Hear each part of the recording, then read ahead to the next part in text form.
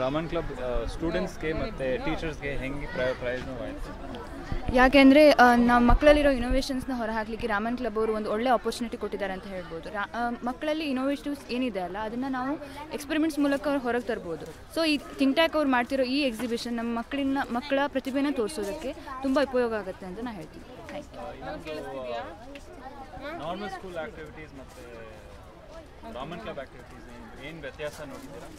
Sir, ಈಗ ನಾವು work ಮಾಡ್ತಿರೋದು ಗೌರ್ಮೆಂಟ್ ಸ್ಕೂಲಲ್ಲಿ ಆಗಿರೋದು ನಾರ್ಮಲ್ ಸ್ಕೂಲಲ್ಲಿ ಏನಾಗುತ್ತೆ ಆಕ್ಟಿವಿಟೀಸ್ ಲರ್ನಿಂಗ್ ಬೇಸ್ಡ್ ಅಷ್ಟೇ. ಇದು ಪ್ರಾಕ್ಟಿಕಲಿ ಬೇಸ್ಡ್ ಆಗಿರೋದ್ರಿಂದ ಅವ್ರಿಗೆ ಲರ್ನಿಂಗ್ಸು ಸಿಗುತ್ತೆ ಪ್ರಾಕ್ಟಿಕಲ್ ಎಕ್ಸ್ಪೀರಿಯನ್ಸು ಸಿಗುತ್ತೆ. ಸೊ ಥಿಂಕ್ ಟ್ಯಾಕ್ ಅವ್ರು ಮಾಡಿಸಿರೋದ್ರಿಂದ ನಮಗೆ ಮಕ್ಕಳಲ್ಲಿ ಇನ್ನೂ ಉತ್ಸಾಹ ಜಾಸ್ತಿ ಮತ್ತು ಅವರ ಕಲಿಯೋದು ಜಾಸ್ತಿ ಆಗುತ್ತೆ. ಅದರಿಂದ ನಮ್ಮ ಥಿಂಕ್ ಟ್ಯಾಕ್ ಅವರು ತುಂಬ ಹೆಲ್ಪ್ ಆಗಿದೆ ಅಂತ ನಾನು ಹೇಳೋಕ್ಕೆ ಇಷ್ಟಪಡ್ತೀನಿ.